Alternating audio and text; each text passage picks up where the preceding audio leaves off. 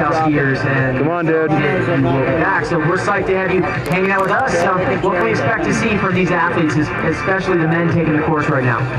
Well, of course the way it is and the, the condition it is, it is, you're going to see some some really good skiing today. Um, That's some, some high difficulty airs. I've heard that uh, the jumps are really jumping well.